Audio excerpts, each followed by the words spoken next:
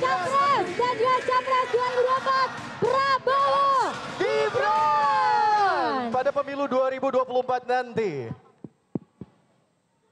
Bagaimana? Enggak, enggak salah pilihan aku. Paten enggak? Paten enggak wakil presiden kita? Terlalu muda enggak? Gue terlalu tua enggak? Baik, terima kasih saudara-saudara sekalian. Saya tadi minta maaf. Salah satu pendukung kita yang paling kuat adalah Mualim Partai Aceh dari Aceh. Terima kasih Mualim.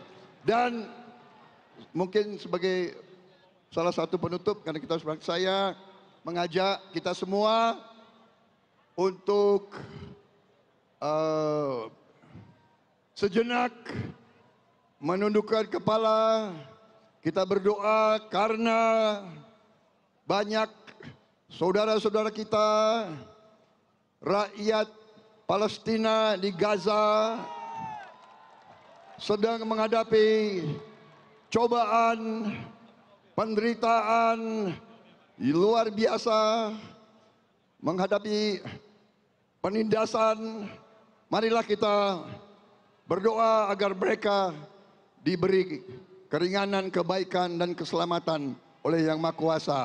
Berdoa mulai.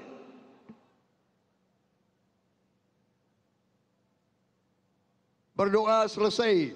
Hati kita jiwa kita perjuangan kita bersama rakyat Palestina. Terima kasih